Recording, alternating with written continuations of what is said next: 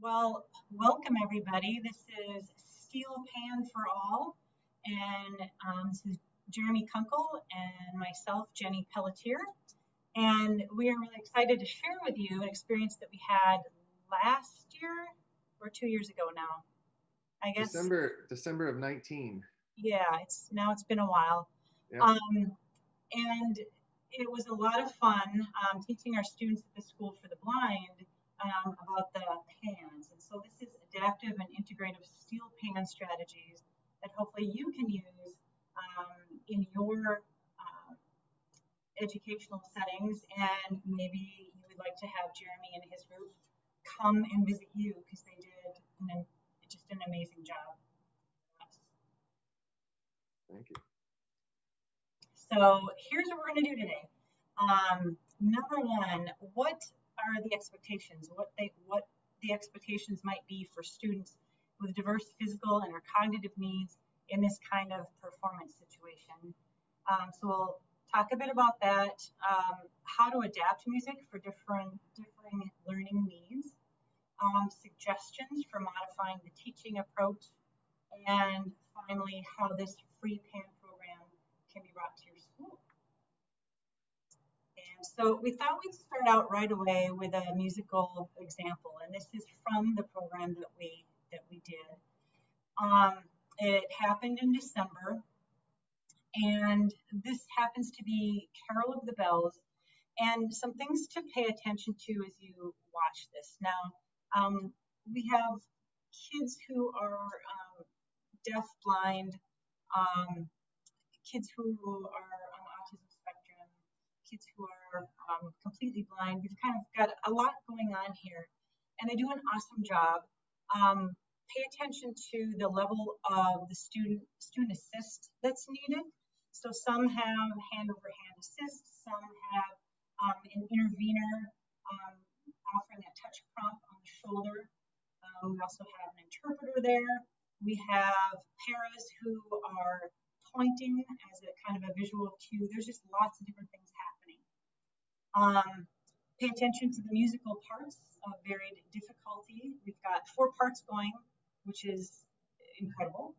Um, and how we, I, I added this to incorporating different mallets to adjust for volume and intensity. We're going to be able to really see that, but just know that we did kind of trade out some different kinds of mallets for students who are just, you know, striking um, the pan way too hard or whatnot. So let's give a listen.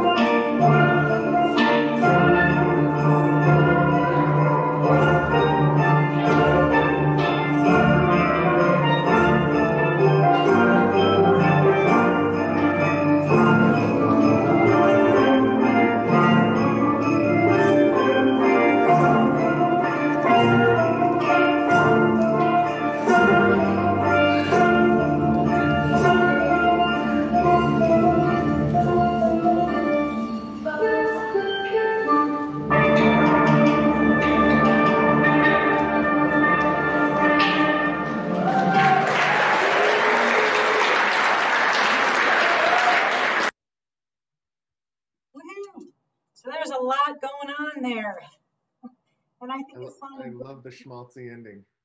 Yes, that was the best part. so to back up just a bit, um, who we are, what we do. So um, my name is Jenny uh, Pelletier, and I work at the Minnesota State Academy for the Blind in Faribault. Um, we've been here for like 150 plus years.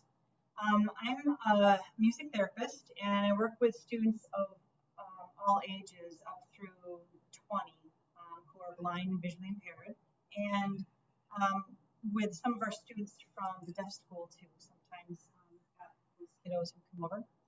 Um, many students are multiply challenged as well with other neurological, cognitive, and physical um, diagnoses. And and I say that because um, in this presentation, we really want to be thinking about all your settings where you will likely have some students like the ones, um, you know, similar to the kids that you see here. And so um, I just want to point out that we've just got a lot of diverse needs here. Um, music therapy, what I do is the, this is kind of a long definition, the systematic planned use of music by a music therapist for non-musical therapeutic goals. So really, I use music every day as a way to help with physical skills, to help with communication, um, to help with um, sensory integration, orientation, all these different things. And, you know, use music because it's motivating and um, works in all areas of our brain. And so, yeah, for 25 plus years or whatever it is now, that's what I've been doing. Um, one other little piece here on the bottom, expanded core curriculum. So um, what that means is uh, our students need a little extra skill and training in certain areas um, because they don't learn in a typical way that our, you know, sighted students learn. Um, and so music and music therapy is an excellent way to work into that expanded curriculum and, and and then there's Jeremy. Hi, my name is Jeremy Kunkel. Um, I have most of my experience in the marching arts and spend a lot of time doing marching band and teaching drum lines and uh, marching drum and bugle corps. Uh, and it wasn't until recently that my body got a little too old to be carrying drums and things around a football field. Um, so we started talking about putting a pan program together and started a steel drum band uh, with uh, Chops Inc. as its uh, I guess, financial sponsor. Um, I've been doing the percussion thing and performing, teaching, adjudicating, clinics, uh, all that kind of stuff, private lessons uh, for a little over 30 years now, which ages me a little, but um, the uh, experience that I have is um, pretty much uh, all varied between uh, different styles of percussion and performing on different percussion instruments uh, including a show called uh, Blast, Broadway show called Blast, um, where I really started honing some of my pan skills. Um, I'm a member of the National Steel Band Educators and Percussive Arts Society. Uh, got my music education degree from the University of Memphis. I fully intended on being a band director, um, but uh, different course of life and following the uh, drum and bugle corps dreams and uh, being a director of a couple nonprofits uh, kind of led me away from that. And I'm excited to get back into the education field with the PAN Outreach program. Um, I was just starting to get the PAN Outreach program off the ground. Um, the instruments were purchased by Chops Inc.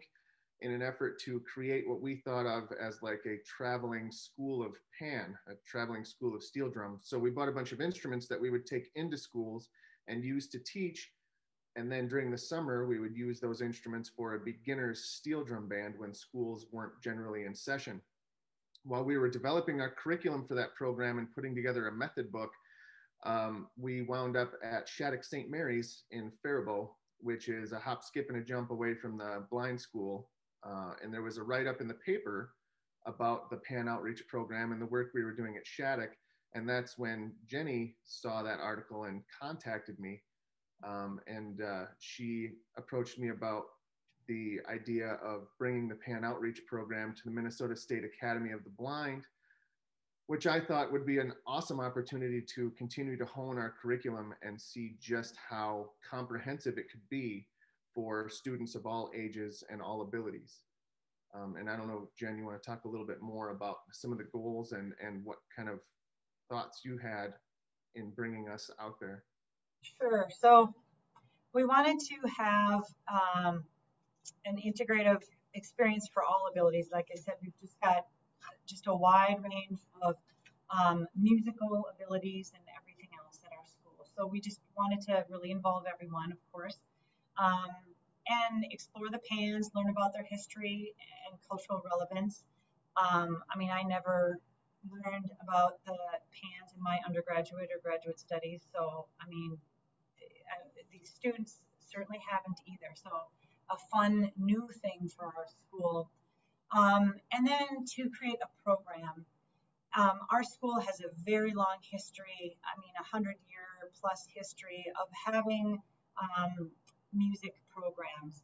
And many of them uh, back in the day were very much Christmas programs and then referred to as the holiday programs. And now trying to, like I think a lot of other schools, trying to really figure out how to forward, how to make that work, how to make a shift.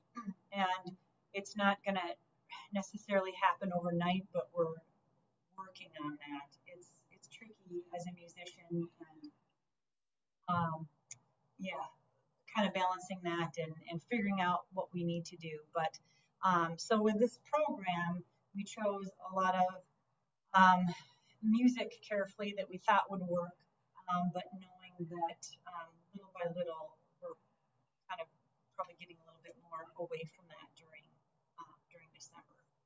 So yeah, away from the secular music.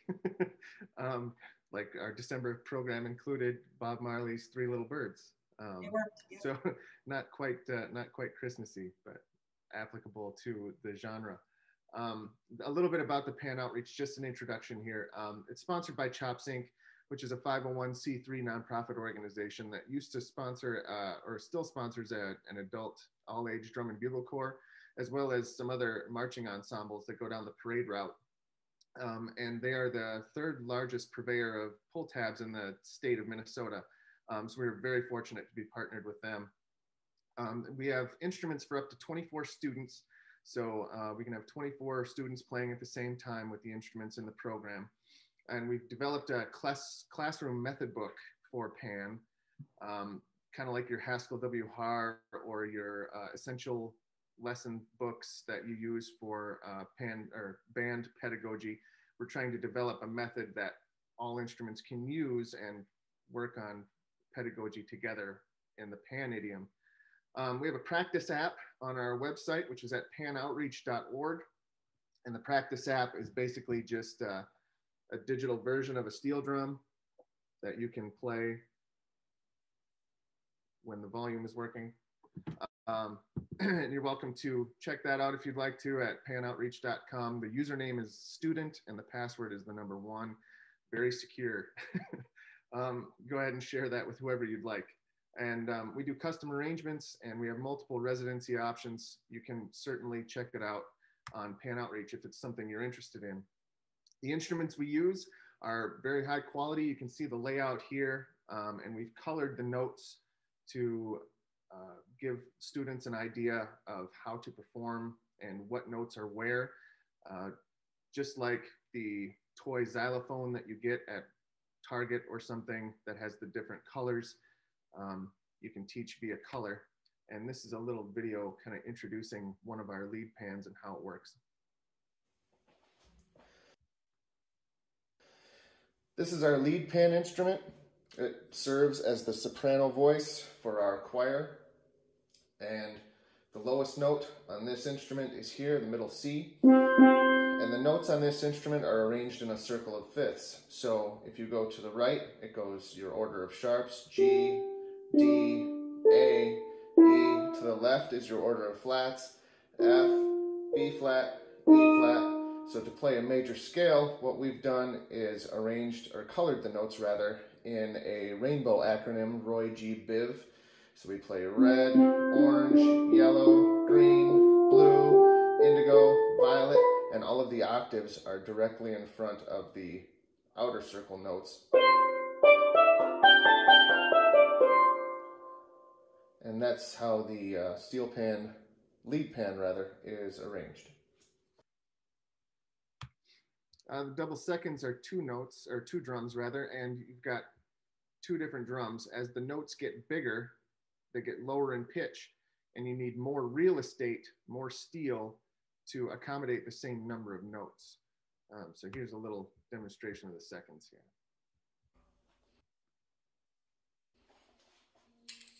The double seconds instruments serve as our alto voice.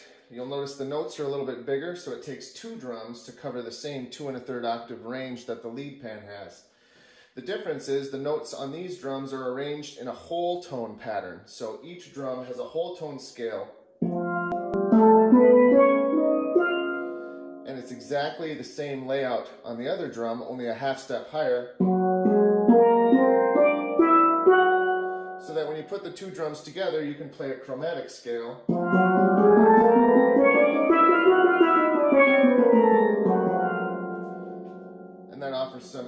Unique challenges, but also some uh, really cool opportunities for chord progressions.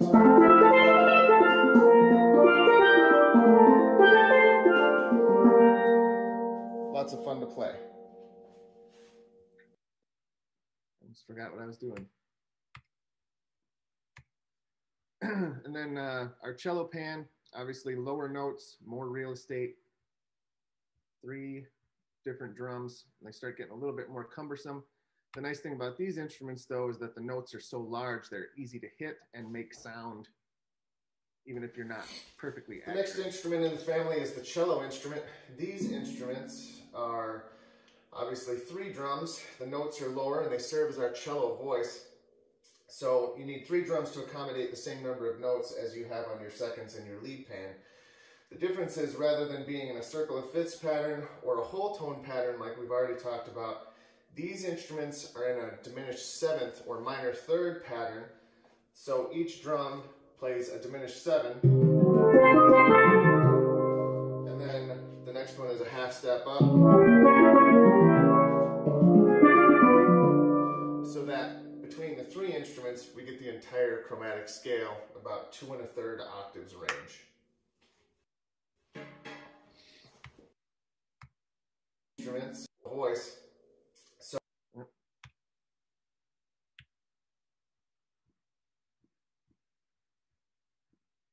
Okay.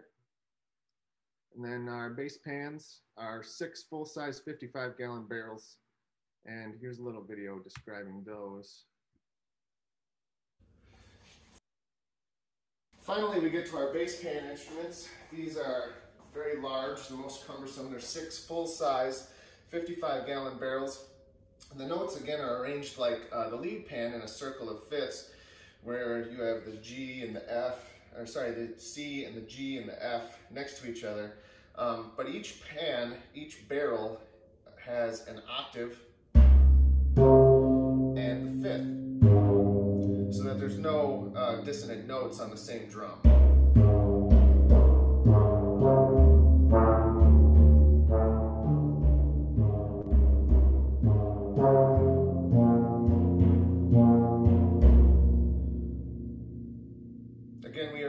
In a uh, Roy G. Biv color pattern, uh, sorry, colored the notes in the Roy G. Biv pattern so that students can understand where the major scale falls. So we play red, orange, yellow, green, blue, indigo, violet, and then back to our octave. So these are a lot of fun, generally the first choice of students so that they can come over here and play lots of different drums almost feels like you're dancing once you get into uh, more complicated music, just because of all the different movements you have to make to play the instrument. It's a lot of fun to play.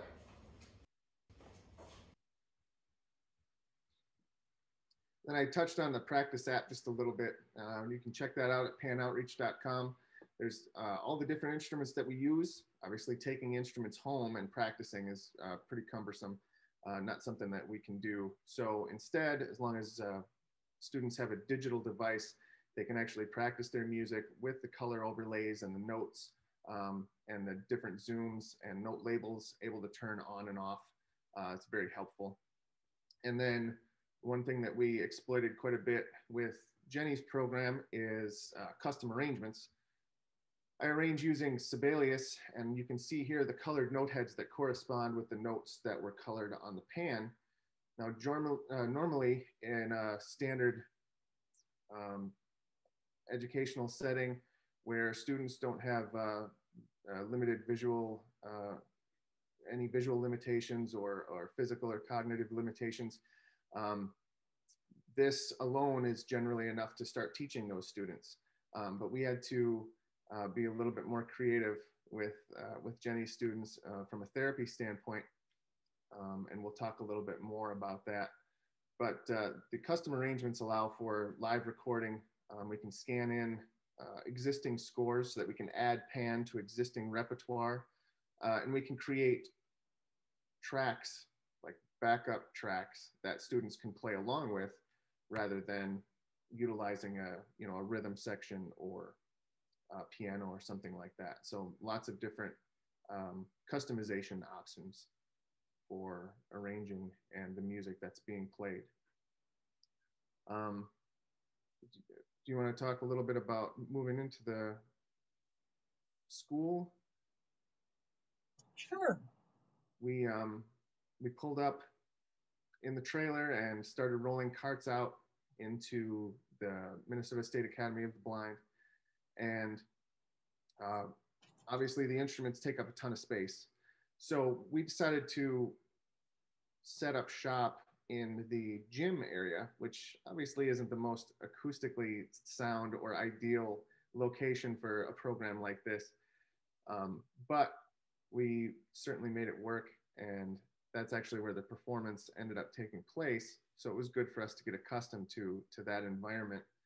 Um, Jeremy, do you want to, um, if you want to go into present mode Oh, sure. there. I was going to just add there when um, Jeremy drove up with the truck um, of all of these instruments, there was a little freak out moment. Um, I knew that there would be lots of instruments, but I really hadn't anticipated the size. Um, so something to think about when when um, Pan Outreach comes to your school, make sure you have space. Um, I had a quick chat with our gym teacher and said, can we leave this? I mean, because they were for two months, I think, um, all these instruments were in the middle of the gym. And so I felt really bad about that and was grateful that, that um, our gym teacher was awesome about making it work. But took up a lot of space, but worth it. yeah.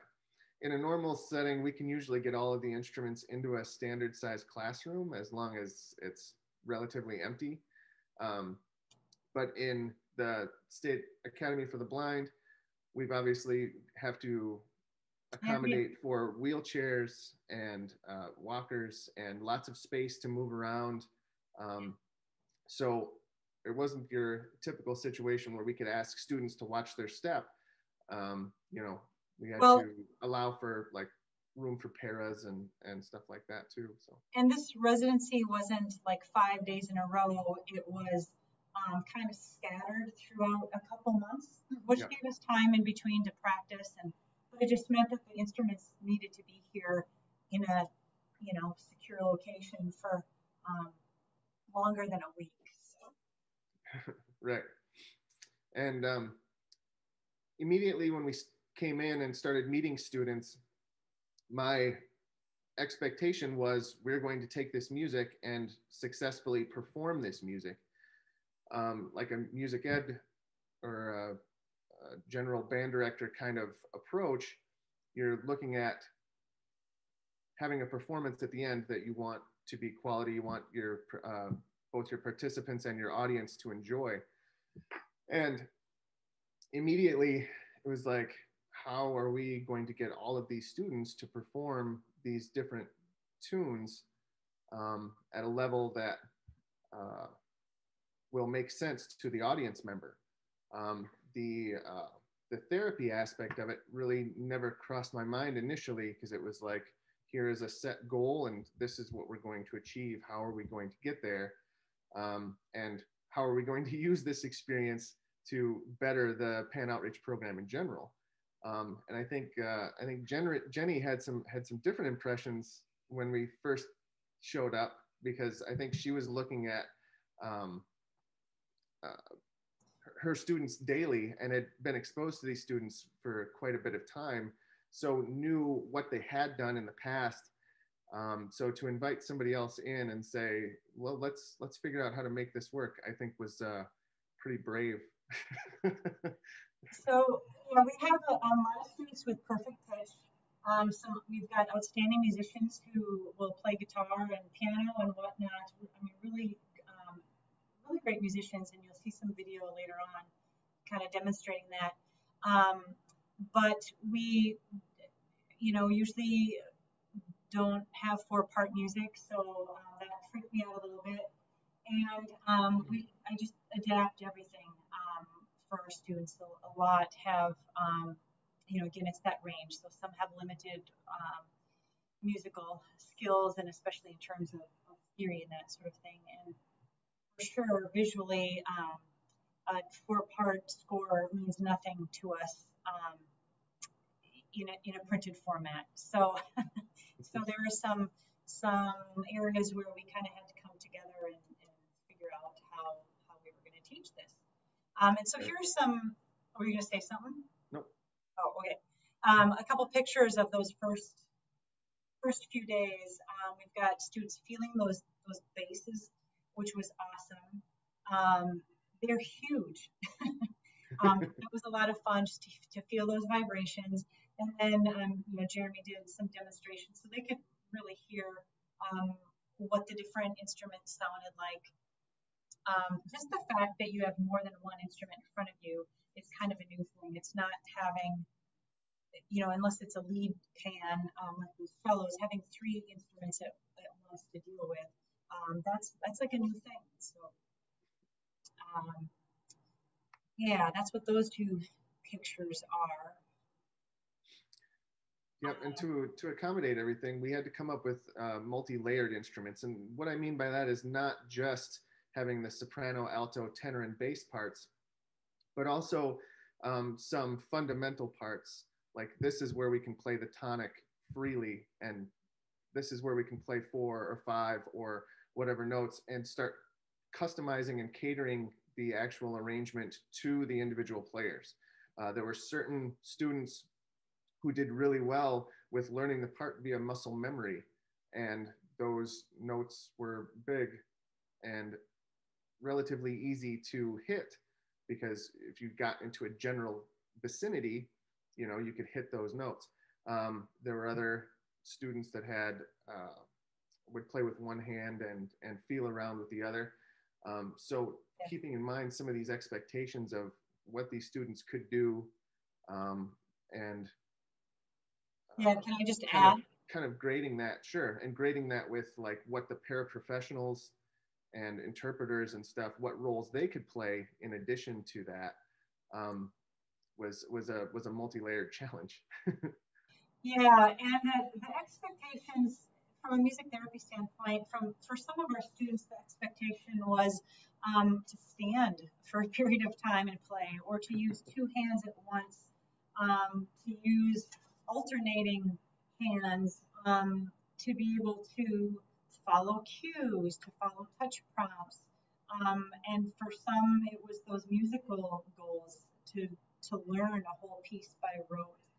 Um, and I put behavioral in there because there's some of our students who just build up to any kind of performance just isn't going to work. And so that's where we've got to think about the process and not the product and um, savoring those those times together where we're learning, um, even though some students might not, uh, I, am only thinking there's a few, but who might not make it to that final performance. So um, again, a lot, a lot going on and a lot that doesn't even have to do with music. So.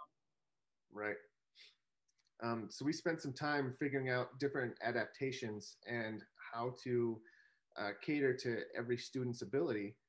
Um, some of the things that we uh, kind of experimented with just in this instrument here, this picture is of a set of cellos and you can see some of the neon letters and circles around certain instrument or certain notes um, to aid in finding where the notes are and what comes next.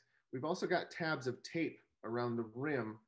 So those students that might have limited abilities uh, visually um, can feel where their hand is and put their hand in a particular position um, so that they know that they're over the note that they need to play. And other students, uh, it was best to let them experience the instrument aurally and come up with their own uh, muscle memory. We would use uh, the braille stickers. We'd put little stickers on some of the instruments that would actually have a braille raised so they could feel with their hand what notes were where. And we came up with some, oh, there we go. Helpful.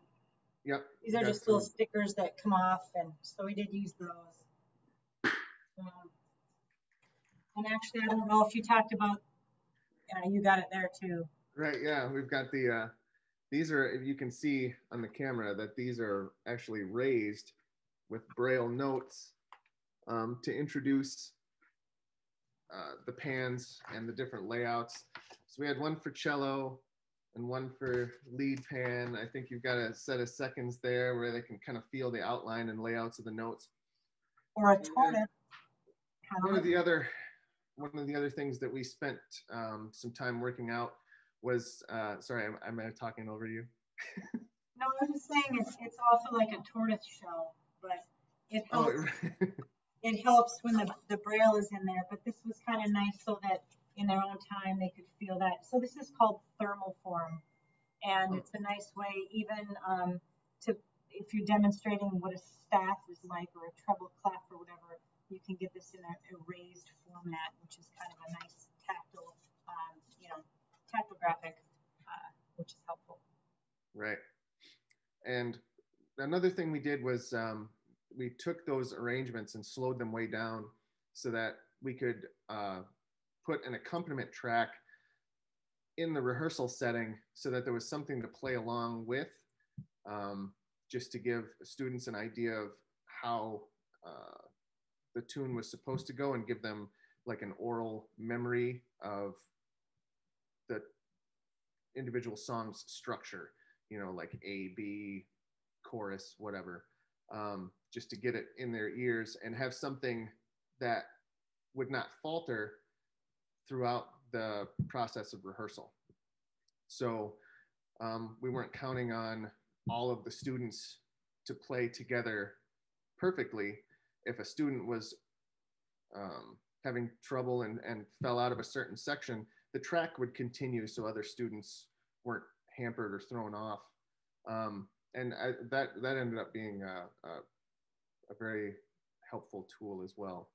Um, so we we spent a lot of time trying to figure out exactly how to make all of this work. Um, in this video, you'll see some uh, muscle memory and some tactile cues played by Ben here. Um, bring this up and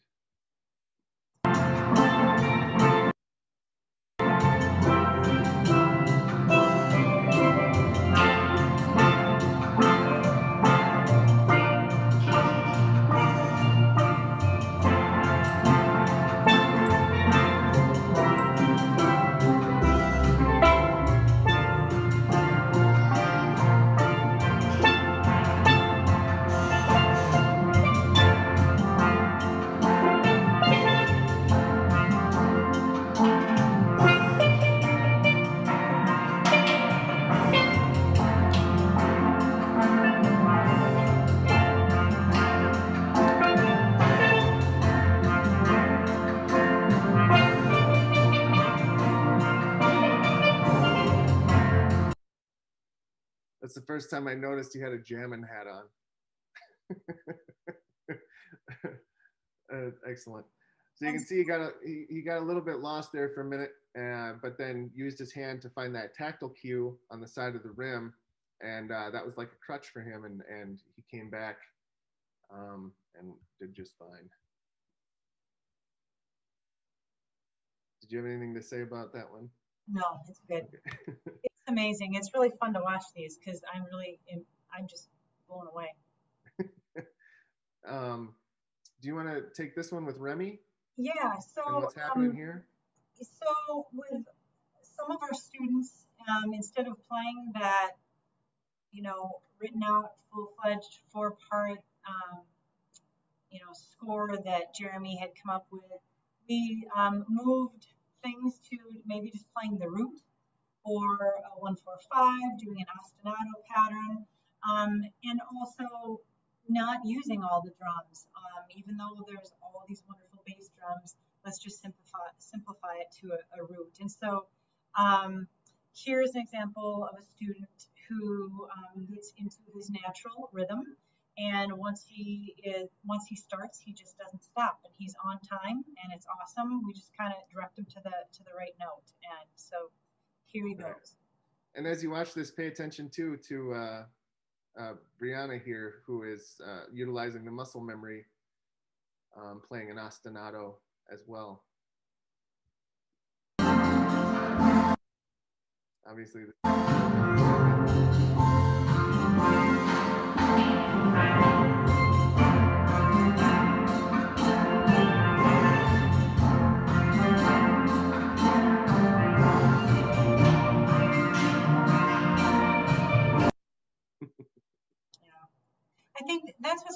cool. I mean, I, I really feel like everybody was able to participate at their own level and it just and it still it sounded great and they were all together doing it. It wasn't like this group is going to do this part and this group.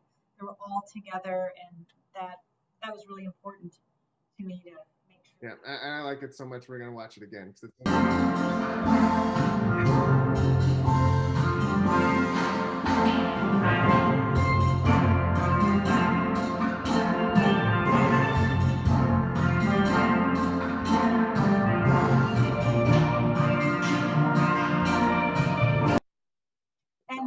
Just to point out, there's another guy in the background. Um, he um, was another Jeremy who came with Jeremy Kunkel to, to help out. He's part of their group. And that was nice too to have some extra help. Um, we also had a music therapy intern from Augsburg who joined us, and she was a lifesaver um, with a background in education also. So just all yeah. those people helping made it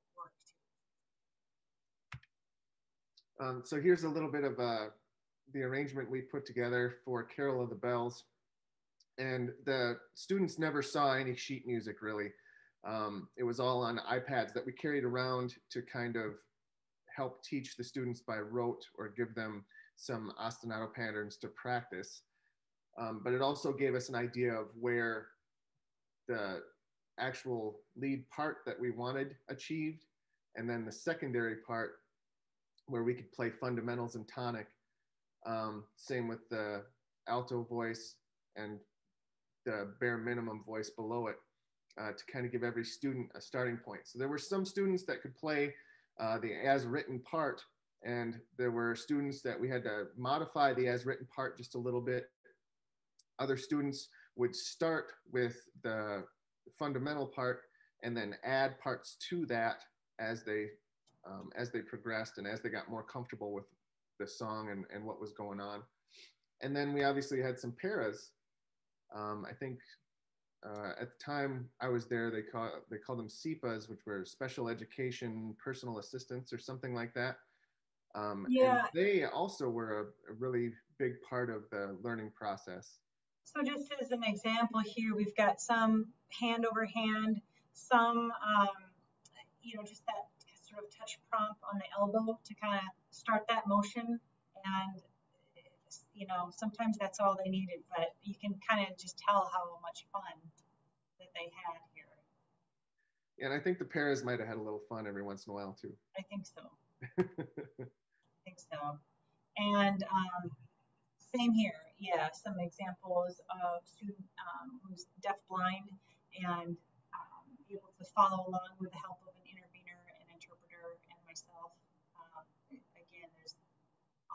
lot, lot happening at once. Yeah, I think the para on the right is just tapping the beat on their shoulder so that they knew when to play, even though um, they may not be able to, to hear what they're playing. Um, do you want to intro this? Yeah, so um, I think this is our last little video excerpt, if I remember right. This is another one from the program day. Um, this was Home for the Holidays.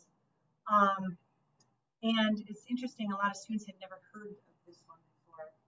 Um, we do have a student in this group, I think, who's Muslim, and we had had a chat ahead of time of if she had wanted to participate in, and to kind of choose what she wanted to play on. And this is one piece that she was interested in participating in. So um, some things to observe as you're as you're watching this. Um, we started out singing through it once as a way to kind of um, stretch the song out because otherwise it's it's done very quickly. Um, but it gave the audience a you know an opportunity to participate too, which is really nice. Um, extended mallet, you can't really see this in here, but we have a gentleman who just really couldn't reach the the pan that he had, and so just an extra long mallet. Um, it might have been like an Orff mallet or something that we ended up using. Um, and uh, again, the level of student assist that is needed is just different for everyone. Um, how students are being assisted is something to, to watch out for, um, and many are participating independently. Um, and then again, the musical parts of very difficulty. So uh, again, kind of listen to those four parts. Um, but again, these I don't know these guys do an amazing job. Uh, there's quite a few with perfect pitch here too, students.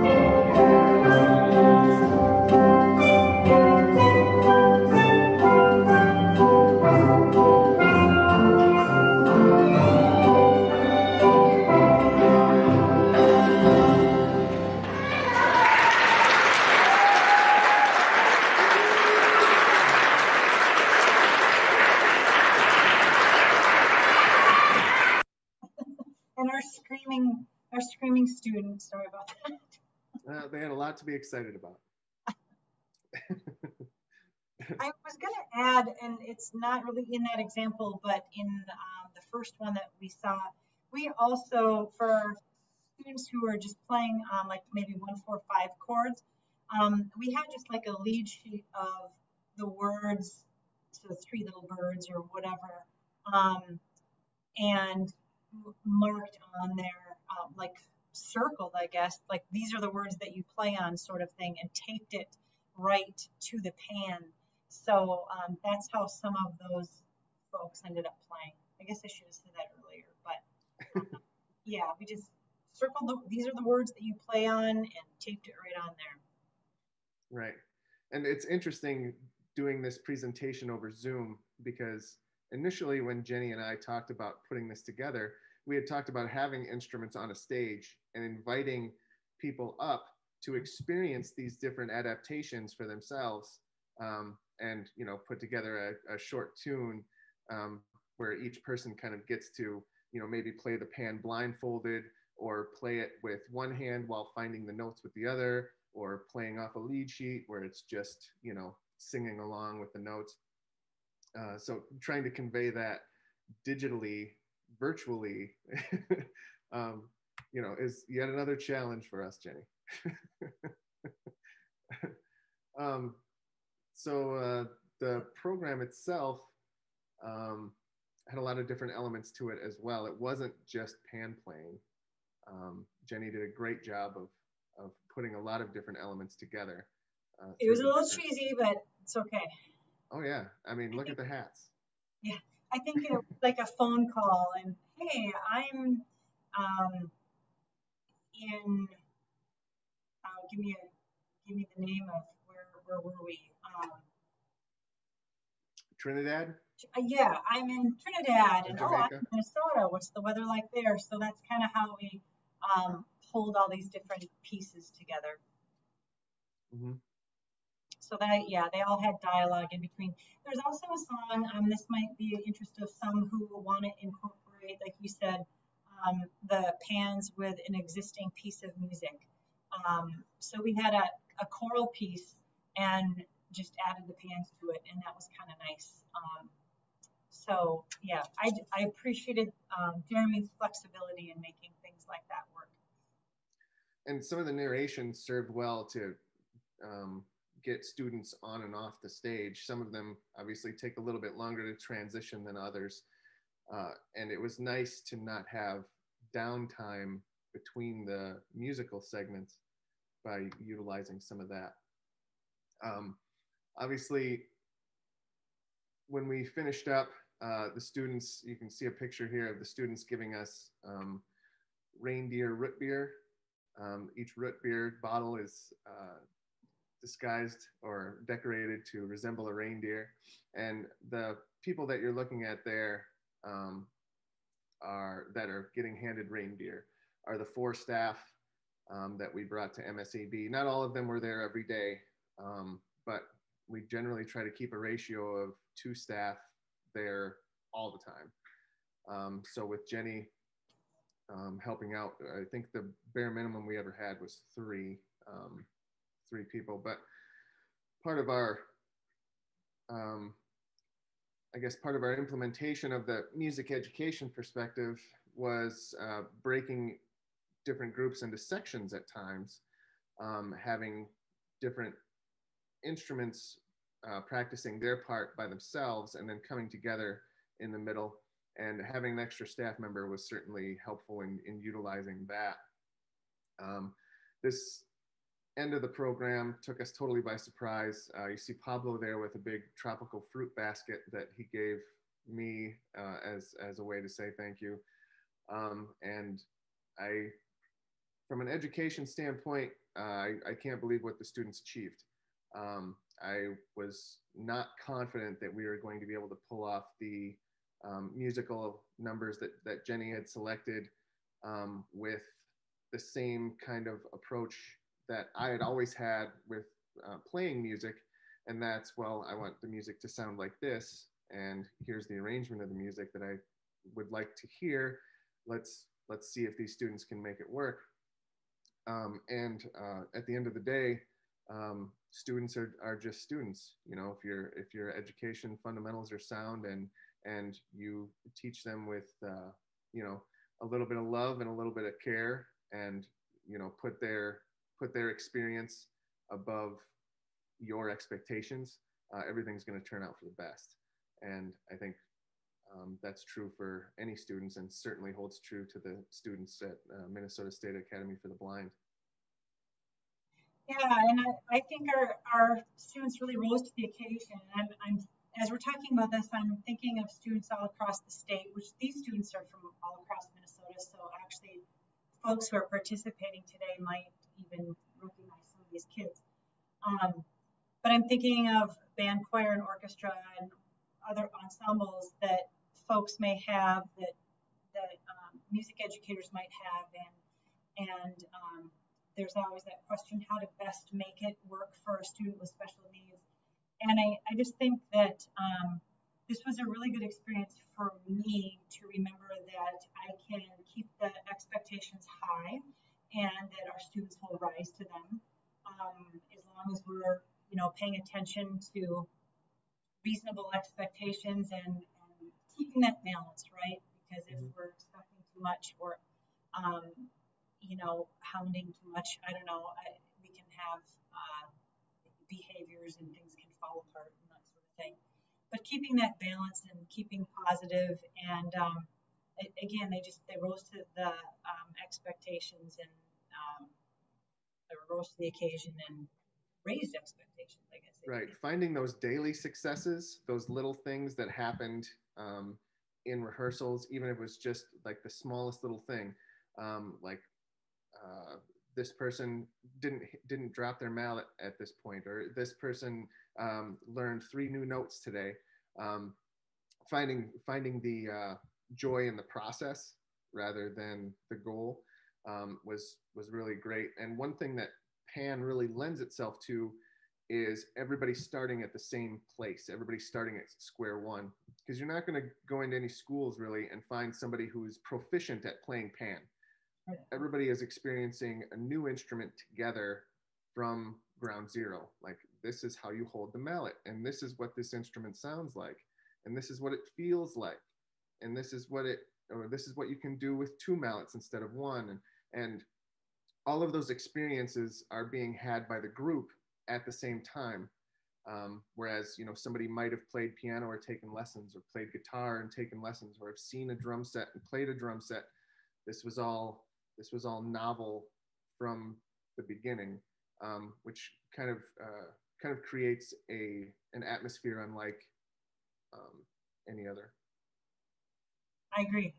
Yes, and and I'm hoping um, that folks will contact Jeremy and ask him to come out to their school because I think this is a really unique program. And as you can tell, um, he and his group are just really flexible in working with diverse needs, um, both the students' needs and musically what what can happen. So very grateful for that. And here's some um, other resources, how you can get a hold of myself or Jeremy, and then um, you've got music therapy resources, and of course the Pan Outreach um, website, which has a lot of good videos, as I remember too. Yep, and to this point, Pan Outreach hasn't been offered to the public. Um, it has all been by referral and people contacting us. Um, we haven't done any kind of advertising or anything like that. Um, and uh, hopefully, with uh, the pandemic, you know, maybe we can do some more in-person stuff soon. Um, obviously, it's real difficult to teach music when you can't look at the person you're teaching. You know, you can't interact with them on a one-on-one basis or or a classroom setting. So um, we'll we'll take it one day at a time and and putting one foot in front of the other. Sounds good. And I would also like to, when COVID is over here, hopefully um, one day soon, I would like to invite folks to come and visit the Minnesota State Academy for the Blind and check out our recording studio. Um, we would love to have visitors and love to share music. So please keep that in mind too. Um, right. I just want to thank uh, MMEA um, for accepting this uh, submission as uh, something worthy of other people's ears. Um, we certainly appreciate the opportunity to present um, what we've kind of learned and experienced and hope that in, in some way it helps your endeavors moving forward with your program, whatever that may look like. Sounds good. Thank you. Yep, thank you.